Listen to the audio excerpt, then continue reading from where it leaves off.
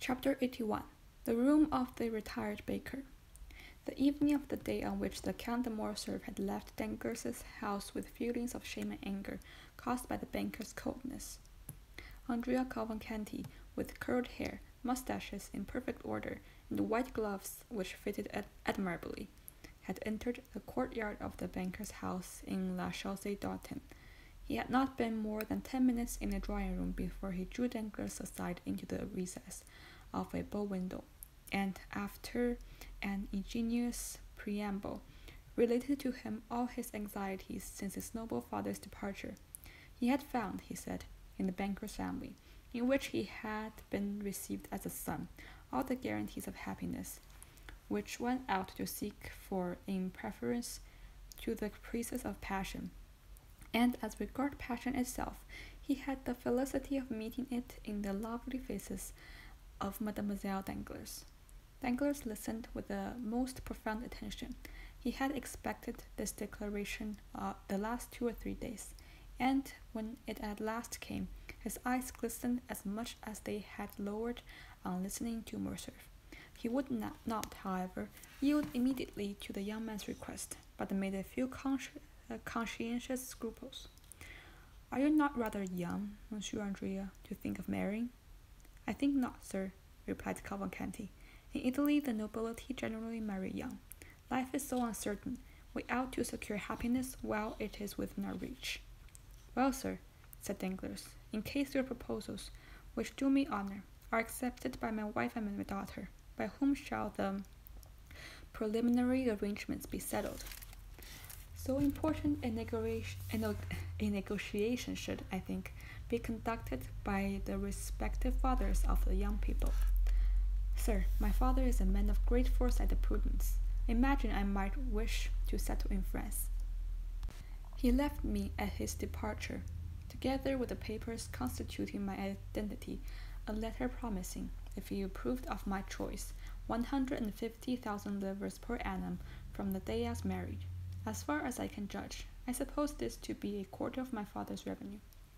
I, said Danglars, have always intended to give my daughter five hundred thousand francs as her dowry. She is, besides, my whole heiress. All would be easily arranged if the Baroness and her daughter are willing. We should command an annuity of one hundred and seventy-five thousand livres. Supposing, also, I should persuade the Marquise to give me my capital, which is not likely, but still possible. We would place these two or three millions in your hands, whose talent might make it realize ten per cent. I never give more than four per cent, and generally only three and a half. But to my son-in-law I would give five, and we would share the profits. Very good, father-in-law, said Cavalcanti, yielding to his low-born nature which would escape sometimes through the aristocratic gloss with which he sought to conceal it. Correcting himself immediately, he said, Excuse me, sir, hope alone makes me almost mad. What will not reality do? But, said Danglars, who on his part did not perceive how soon the conversation, which at first disinterested, was turning to a business transaction. There is, doubtless, a part of your fortune your father could not refuse you.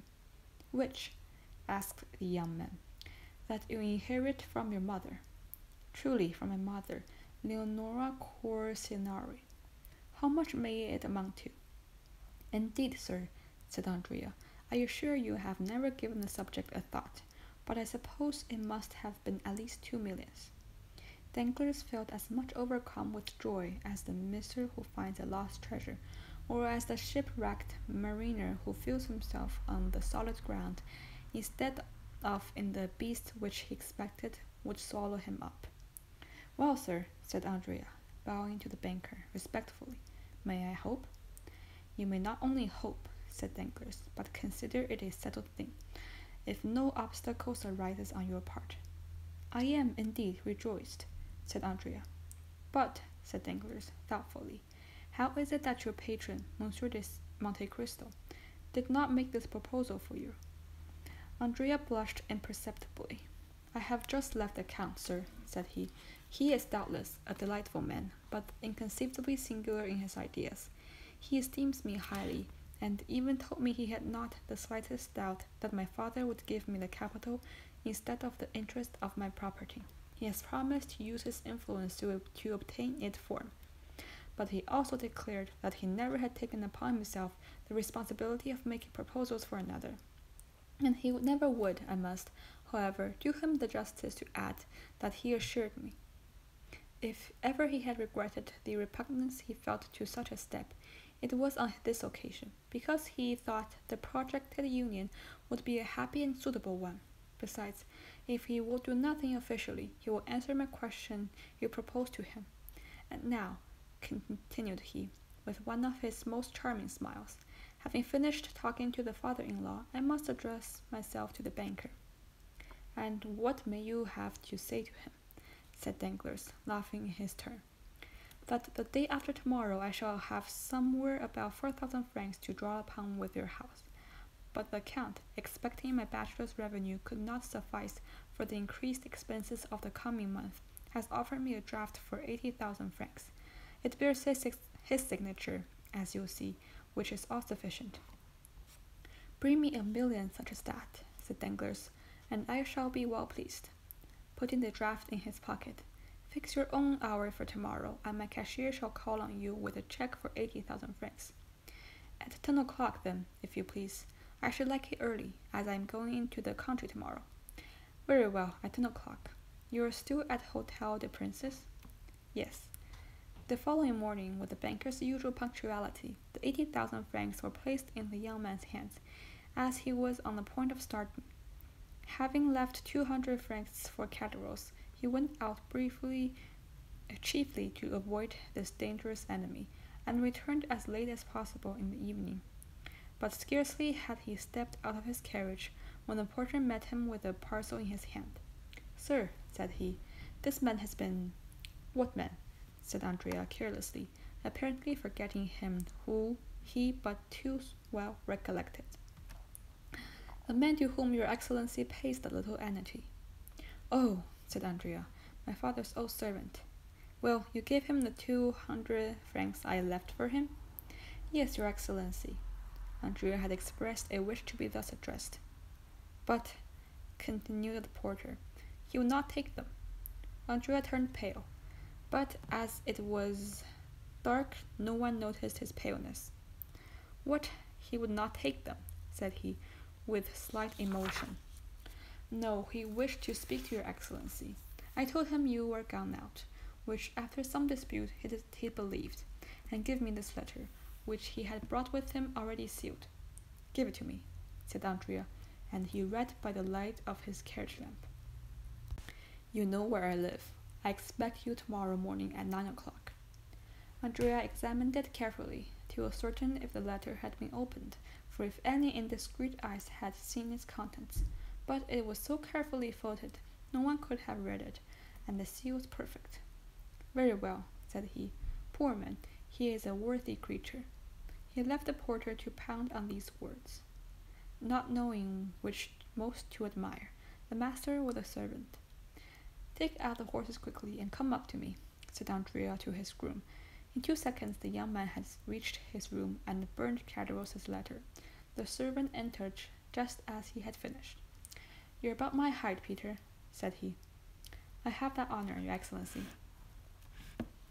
You have a you you had a new livery yesterday?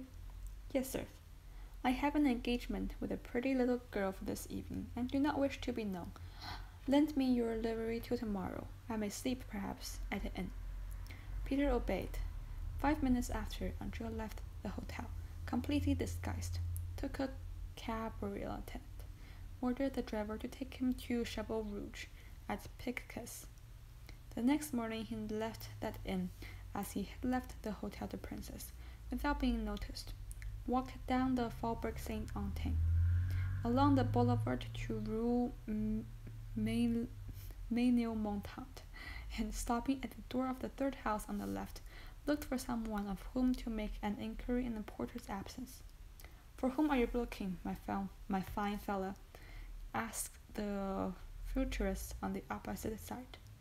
Monsieur Pailletin, if you please, my good woman, replied Andrea. A retired baker? asked the futurist. Exactly. He lives at the end of the yard, on the left, on the third story. Andrea went as she directed him, and on the third floor he found a hair's spout, which, by the hasty ringing of the bell, it was evident he pulled with considerable ill temper. A moment after, Caderousse's face appeared at the grating in the door. Ah, you're punctual, said he, as he unbolted the door. Confound you and your punctuality, said Andrea, throwing himself into the chair in a manner which implied that he would rather have flung it at the head of his host. Come, come, my dear fellow, don't be angry. See, I have thought of thought about you. Look at the good breakfast we're going to have. Nothing but what you are fond of. Andrea, indeed, inhaled the scent of something cooking, which was not unwelcome to him, hungry as he was. It was that mixture of, of fat and garlic peculiar to provincial kitchens of an inferior order, added to that of dried fish, and above all, the pungent smile, smell of musk and gloves. These odors escaped from two deep dishes, which were covered and placed on a stove, and from a copper pan placed in an old iron pot. In an adjoining room, Andrea saw also a tolerably clean table prepared for two, two bottles of wine sealed, the one with green, the other with yellow, a considerable portion of brandy in the decanter, and a measure of fruit in a cabbage leaf, cleverly arranged on an earthenware plate. What do you think of it, my, my little fellow? said Caderousse. Ah, that smells good. You know I you know I used to be a good cook. Do you recollect how you used to lick your fingers? You were among the first who tasted any of my dishes. I did think you relished them tolerably. While speaking, Caderousse went on peeling a fresh supply of onions. But, said Andrea, ill-temperedly, pardieu, if you disturbed me only to breakfast with you, the devil takes you. My boy, said Caderousse, sententiously, one can talk while eating, and then, you ungrateful being, you're not pleased to see an old friend? I'm weeping with joy. He was truly crying, but it would have been difficult to say whether the joy or the onions produced the greatest effect on the uh, gland of the old innkeeper of the Pont du Gard. Hold your tongue, hypocrite, said Andrea. You love me. You. Yes, I do. Or may the devil take me. I know it is a weakness, said Caderousse, but it overpowers me. And yet it has not prevented your sending for me to play me some trick. Come, said Caderousse, wiping his large knife on his apron. If I did not like you, you do you think I should endure the wretched life you lead me? Think for a moment. You have your servant's clothes on you. You, therefore, keep a servant. I have none, and I am obliged to prepare my own meals. You abuse my cookery because you dine at the table the hotel of the Hotel des Princes or the Café de Paris. Well, I too could keep a servant. I too could have a tilbury. I too could dine where I like. But why do I not? Because I would not annoy my little Benedetto. Come, just acknowledge that, that I could, hey? This address was accompanied by a look which was by no means difficult to understand. Well, said Andrea, admitting your love, why do you want me to breakfast with you? That I may have the pleasure of seeing you, my little fellow. Of seeing me? What for? Since we have made all our arrangements. Ah, oh, dear friend, said Caderousse, are wills ever made without codicils? But first of all, you came to breakfast, did you not? Well, sit down, and let's begin with these sardines, and this fresh butter which I have put on some wine leaves. To please you, you rogue. Ah, yes, you look at, at my room, my four, four straw chairs, the plaster figures, three francs each. But what do you expect? This is not the Hotel de Princes. Come, you're growing discontented. Are you no longer happy? You, who only wished to appear a retired baker. Caderousse sighed. Well, what have you to say? You have seen your dreams realized. I can still say it is a dream. A retired baker, my poor Benedetto, is rich. He has an annuity. Well, you have an annuity. I have. Yes, since I have your 200 francs. Caderousse shrugged up his shoulders. It is humiliating, said he, thus to receive money given grudgingly, an uncertain supply which may soon fail. You see, I am obliged to economize. In case your prosperity should cease. Well, my friend, fortune is inconstant, as said the chaplain of the regiment. I know your prosperity is great, rascal. You're too many the daughter of Danglars. What, of Danglars? Yes, to be sure. Must I say Baron Danglars? I might as well say Count Benedetto. He was an old friend of mine, and if he had not so bad a memory, he ought to invite me to your wedding, seeing he came to mine. Yes, yes, to mine, forsooth. He was not so proud then. He was an under clerk to the good Monsieur Morel. I have dined many times with him and the Count de Morcerf. So you see I have some high connections, and were I to cultivate them a little, we might meet in the same drawing rooms. Come, your jealousy represents everything to you in the wrong light. That is all very fine, my Benedetto, but I know what I'm saying. Perhaps I may one day put on my best coat and presenting myself at the front door, introduce myself. Meanwhile, let us sit down and eat. Caderousse set the example and attacked the breakfast with a good appetite, praising each dish he set before his visitor. The latter seemed to have resigned himself. He drew the corks, and partook largely of the fish with the garlic and fat. Ah, comrade, said Caderousse, you're getting on better terms with your old landlord. Faith, yes, replied Andrea, whose hunger prevailed over every other feeling. So you like it, you rogue. So much would I wonder how a man who can cook thus can complain of hard living. Do you see, said Caderousse, all my happiness is married by one thought. What is that? That I am dependent on another. I who have always gained my own livelihood honestly. Do not let that disturb you. I have enough for two. No, truly, you may believe me if you will. At the end of every month I am tormented by remorse. Good Caderousse. So much so that yesterday I would not take the two hundred francs. Yes, you wish to speak to me. But was it indeed remorse? Tell me. True remorse. And besides, an idea has struck me. Andrea shuddered. He always did so at Caderousse's ideas. It is miserable. Do you see? Always to wait till the end of the month. Oh, said Andrea philosophically, determined to watch his companion narrowly. Does not life pass in waiting? Do I, for instance, do anything else? Well, I wait patiently, do I not?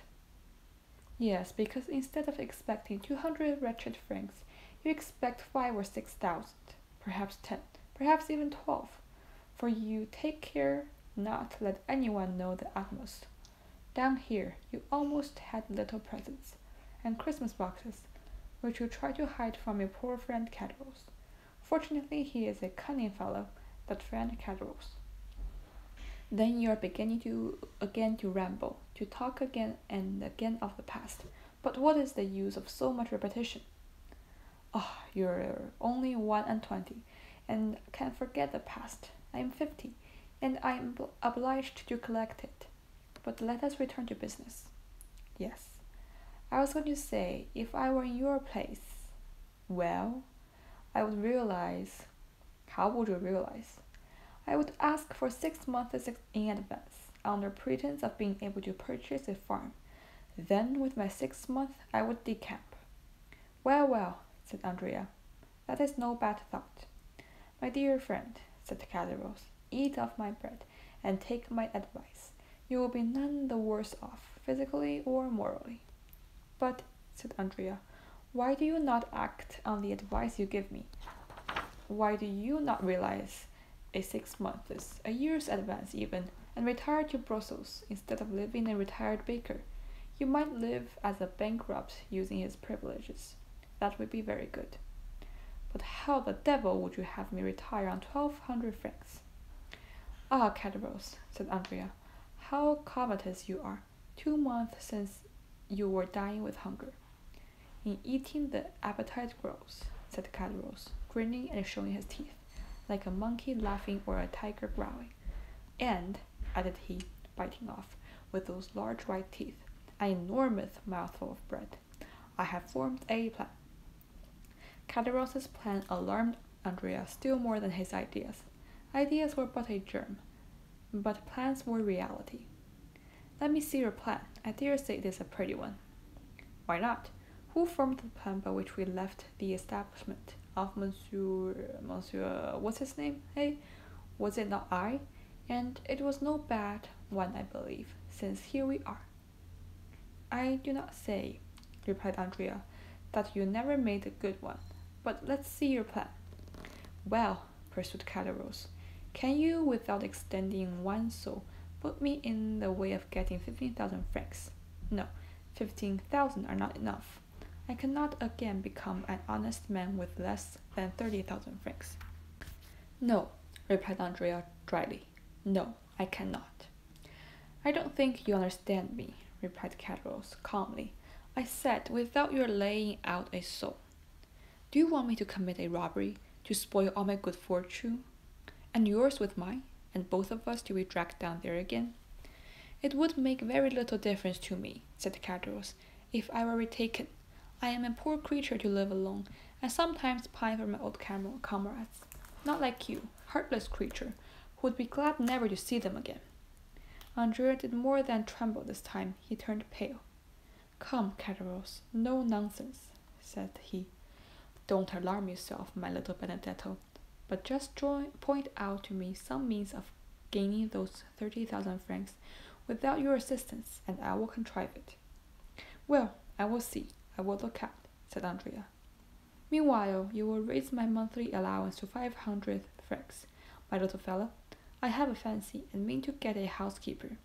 Well, you shall have your five hundred francs, said Andrea, but it is very hard for me, my poor Caderousse. You take advantage. Bah, said Caderousse, when you have access to countless stores. One would have said Andrea anticipated his companion's words, so did his eye flash like lightning. It was but for a moment. True, he replied, and my protector is very kind. That dear protector, said Caderousse. And how much does he give you monthly? Five thousand francs. As many thousand as you give me hundreds. Truly, it is only bastards who are thus fortunate.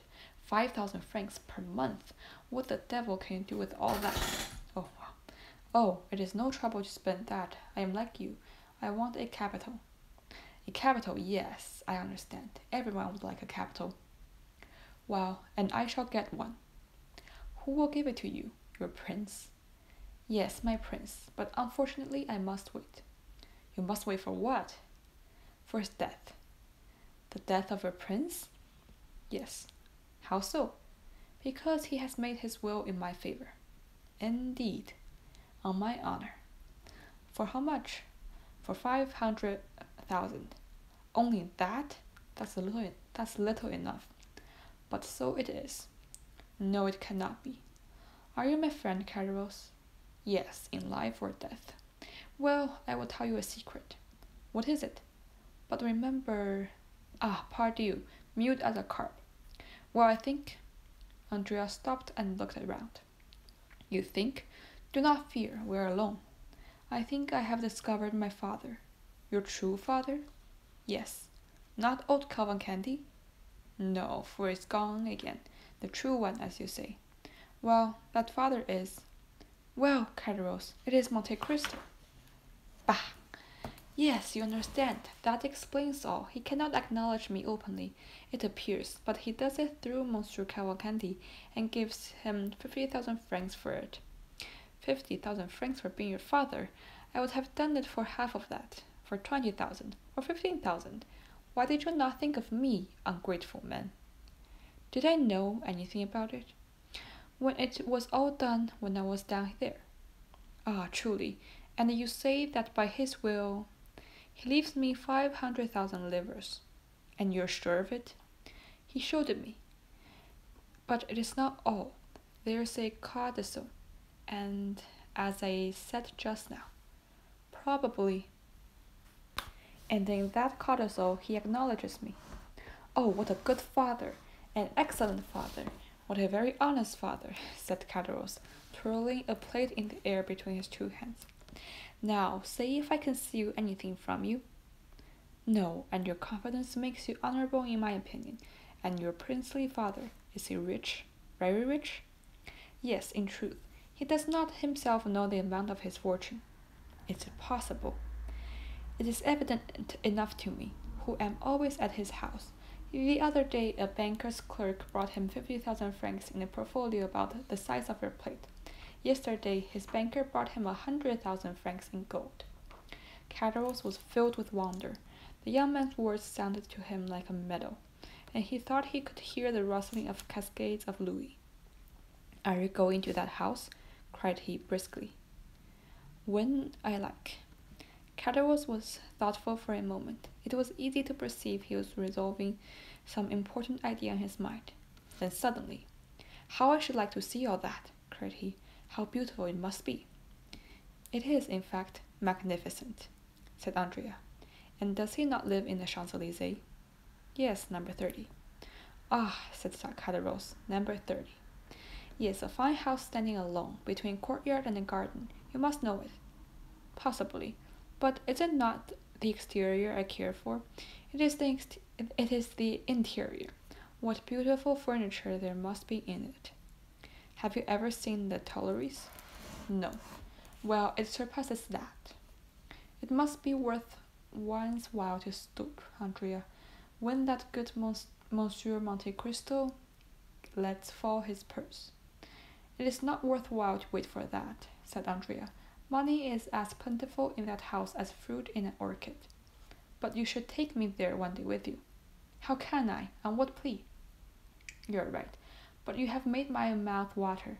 I must absolutely see it. I shall find a way. No nonsense, Caderousse. I will offer myself as a full tour. The rooms are all carpeted. Well then, I must be contented to imagine it. That's the best plan, believe me. Try at least to give me an idea of what it is. How can I? Nothing is easier. Is it large? Middling. How is it arranged? Faith, I should require pen, ink, and paper to make a plan. They're all here, said Caderousse briskly. He fetched from an old secretaire a sheet of white paper and pen and ink. Here, said Caderousse, trace me all that on the paper, my boy. Andrea took the pen with an imperceptible smile and began. The house, as I said, is between the court and the garden. In this way, do you see?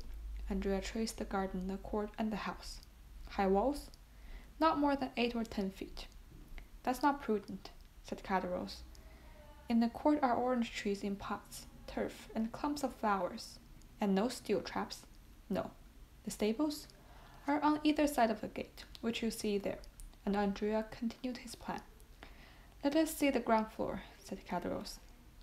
On the ground floor, dining room, two drawing rooms, billiard room, staircase in the hall, and a little back staircase. Windows? Magnificent windows, so beautiful, so large, that I believe a man of your size would pass through each frame. Why, the devil! Have they any stairs with such windows? Luxury has everything. But shutters? Yes, but they are never used. That Count of Monte Cristo is an original, who loves to look at the sky even at night. And where do the servants sleep? Oh, they have a house on themselves. Picture to yourself a pretty coach house at the right hand side, where the ladders are kept. Well, over that coach house are the servants' rooms, with bells corresponding with the different apartments. Ah, the devil! Bells! What do you say? Oh, nothing. I only say they cost a lot of money to hang. And what is the use of them, I should like to know? There used to be a dog let loose in the yard at night, but it has been taken to the house at Auteuil, to that you went to, you know. Yes. I was saying to him only yesterday, You're imprudent, Monsieur le Comte, for when you go to Auteuil, you take your servants. The house is left unprotected. Well, said he, what next? Well, next, some day you'll be robbed. And what did he answer? He quietly said, What do I care if I am? Andrea, he has some secret here with a spring.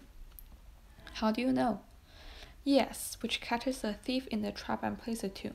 I was told there was such at the last exhibition. He has simply a mahogany secretaire in which the key is always kept. And he's not robbed?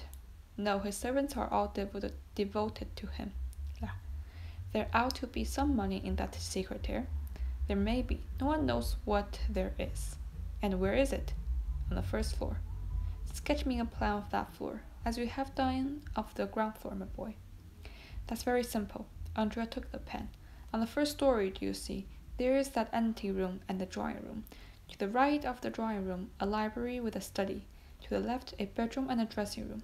The famous secretary is in the dressing room. Is there a window in the dressing room? Two. One here and one there. Andrea sketched two windows in the room, which formed an angle on the plan, and appeared a smaller square added to the long square of the bedroom. Caderousse became thoughtful. Does he often go to Auteuil? added he. Two or three times a week. Tomorrow, for instance, he is going to spend all day and all night there. Are you sure of it? He has invited me to dine there. There is a life for you, said Caderousse. A town house and a country house. That is what it is to be rich. And you shall dine there? Probably. When you dine there, do you sleep there? If I like, I am not at home there.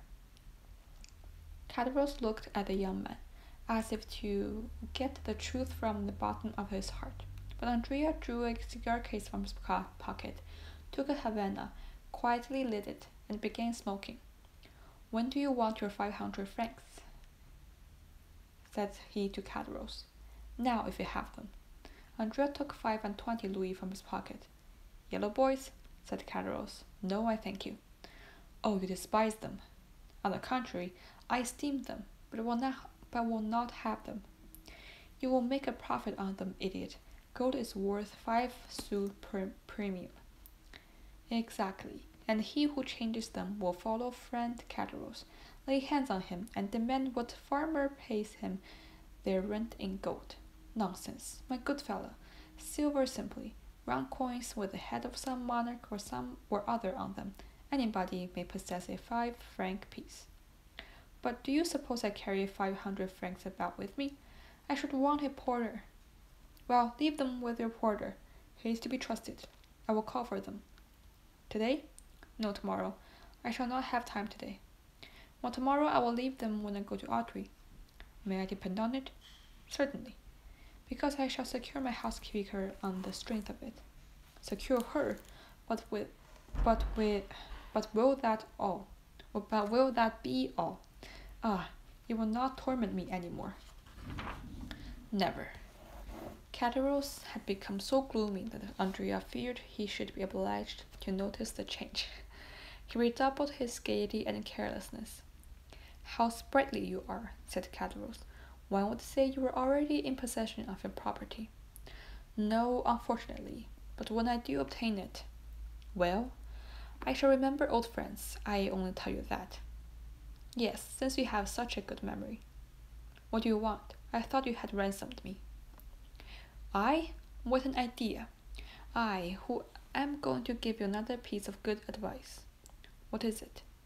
To leave behind you the diamond you have on your finger we shall both get in trouble. You will ruin both yourself and me by your folly. How so? said Andrea. How? You put a livery. You disguise yourself as a servant, and yet keep a diamond on your finger worth four or five thousand francs. You guess well. I know nothing of diamonds. I have had some.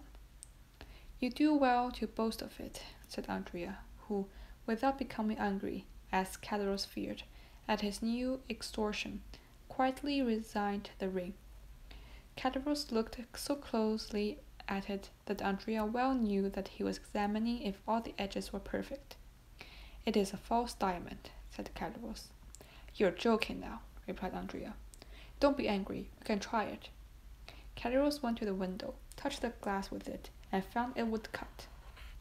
Confiteor, said Caderousse, putting the diamond on his little finger I was mistaken, but those thieves of jewelries imitate so well that it is no longer worth while to rob a jeweler's shop. It is another branch of industry paralyzed. Have you finished just now? said Andrea. Do you want anything more? Will you have my waistcoat or my certificate? Make free now you have begun. No, you are, after all, a good fellow. I will not detain you, and will try to cure myself of my ambition. But take care the same thing does not happen to you in selling the diamond you feared with gold. I shall not sell it, do not fear. Not at least till the day after tomorrow, thought the young man. Happy rogue, said Caderousse, You're going to find your servants, your horses, your carriages, and your betrothed. Yes, said Andrea. Well, I hope you will make a handsome wedding present the day you marry Mademoiselle Danglars. I have already told you it is a fancy you have mis- you have taken in your head. What fortune has he? But I tell you, a million? Andrea shrugged up his shoulders. Let it be a million, said Caderousse. You can never have so much as I wish you. Thank you, said the young man. Oh, I wish it you, with all my heart, said Caderousse, with his hoarse laugh. Stop, let me show you the way. It's not worthwhile. Yes, it is. Why? Because there's a little secret, a precaution I thought it desirable to take, one of Huret and Fichet's locks, revised and improved by Gaspard Caderousse. I will manufacture you a similar one when you are a capitalist. Thank you, said Andrea. I will let you know a week beforehand. They parted. Caderousse remained on the landing until he had not only seen Andrea go down three stories, but also cross the court. Then he returned hastily, shut his door carefully, and began to study, like a clever architect, the plan Andrea left him. Dear Benedetto, said he, I think he will not be sorry to inherit his fortune, and he who hastens the day when he can touch his five hundred thousand will not be his worst friend.